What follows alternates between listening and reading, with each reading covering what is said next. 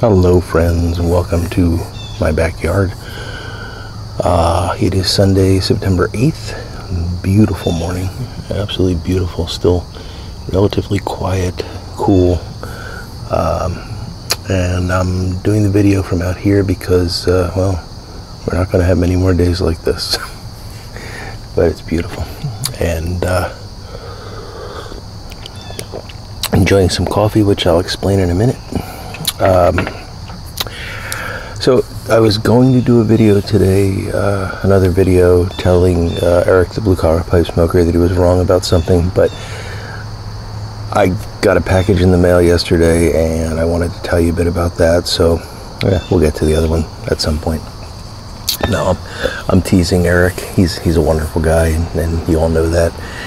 Uh, the reason I say that is we had we had some back and forth in one of his recent videos where he was talking about uh, pipe legacy. So go go see the video. You'll you'll understand. But uh, nah, he's a good guy. Just a little too easy to tease, and we got to be careful not to get carried away. So I got a an email from our friend Art of uh, Artie's Place, and Art said, uh, "You know, can I have your address? I've got a couple of things. Uh, I want to send you a few cigars to try." I should know by now that when somebody says they want to send you a few cigars, what it actually means is they want to send you a, an enormous box of things. Art is an incredibly generous guy, and he uh, embarrassed me with his generosity but uh, I'll put a picture in here and you can see uh, just just the wide array of things that he included in this box uh, that I'm really very very grateful for uh, but the important one for today is that he did include uh, two different types of cigars and in particular these Palma Real uh, Candelas and I'm really excited to try this. So I'm gonna get that going and while I work on this, let me also tell you that the coffee that I'm drinking today is also from Art, and hopefully you can see there that th- this is really cool. He's actually got um, coffee with Art, Artie's Place, and the Daily Five. Um, so he, he, sent me, I think this is, well, I can't find the weight on it, but it, it seems to be a pound of coffee. Uh, I am drinking it right now, and it is wonderful. The uh, the grind, he said, is, is a coarse grind, and it's uh, if you you know me, you know I'm a percolator guy, and it is absolutely perfect for the percolator. Very flavorful, um, not bitter, not uh, not that overly roasted uh, Starbucky crap that I don't like. Pardon my language there. Um, but just really nice coffee art. So uh, so good job with that. And I'm supposed to be doing this while I talk. So there we go. The uh, I'm really looking forward to this. I love Candelas. Actually, not normally with this cool of a day. And unfortunately, I did not bring a cigar lighter with me, ill prepared, so we'll uh, see how this goes.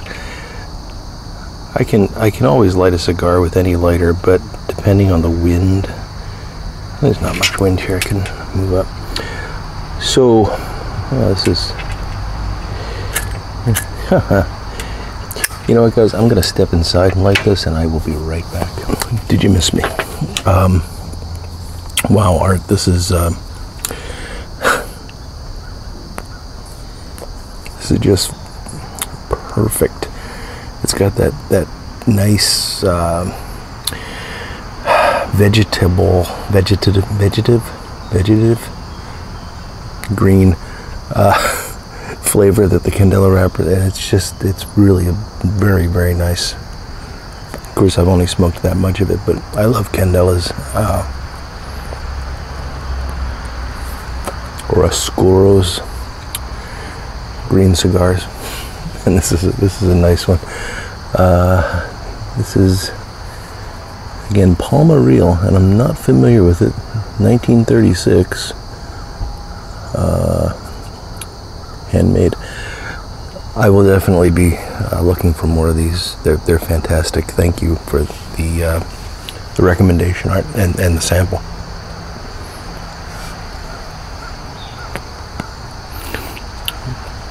Know, the candles are, are hard to come by.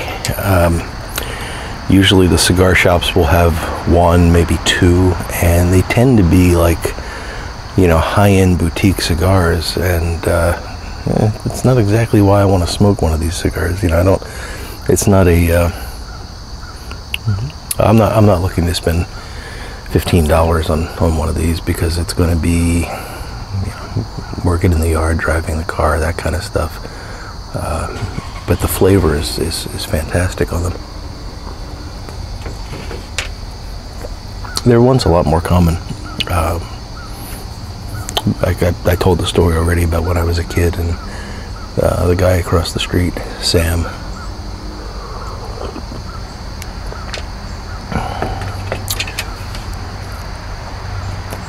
So as you saw in that picture, Artie included a, a bunch of pens, but he included uh, this, these really nice tools that will get used. Uh, little little flashlight for examining the innards of pipes. And I love these little pocket screwdrivers. And the best part about this one is uh, something I can. nothing here is magnetic enough. Uh, it's it's magnetic on the end, and I yeah you got to be careful with them because there's things you don't want to get your magnet attached to. But uh, by and large, these are very very useful, and uh, glad to glad to have that in my pocket. And look at this.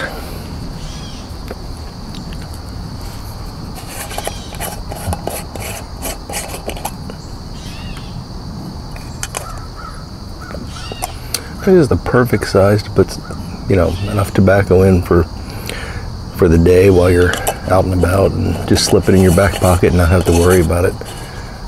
That's just wonderful. Uh, great idea, Art. So, if you don't know who Art is, you're living under a rock. But uh, if you haven't subscribed to Artie's Place, you should. He's uh, sorry, got a memory card full error there, and not not sure why, because I know that I recently cleaned this card off. Anyway, uh, what I was about to say was, if you don't know Art, if you haven't seen Artie's Place, uh, go to the link below, watch a few of his videos, give him a sub.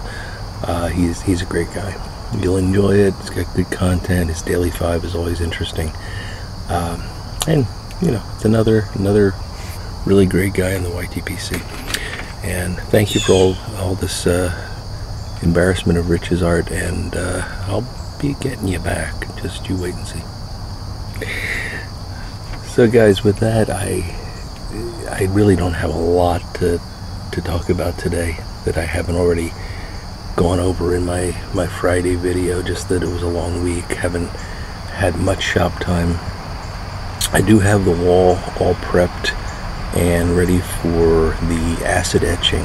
Um, this wall was I thought I was just going to have to brush it off and then I could paint it. But as I was brushing it off, I realized that a lot of there was a lot of that. I think it's called efflorescence, the the salt that builds up over time, and I, I don't want this paint to come flaking off in a in a few weeks. So I, I'm going to do it right and do the acid etching. And then while I was at it, I figured, well, there's a few cracks, nothing major, but enough that I could get some.